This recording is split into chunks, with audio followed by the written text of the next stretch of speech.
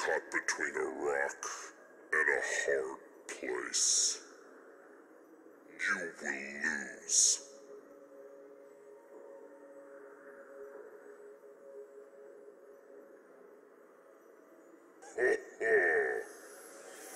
I'm moving as fast as I can.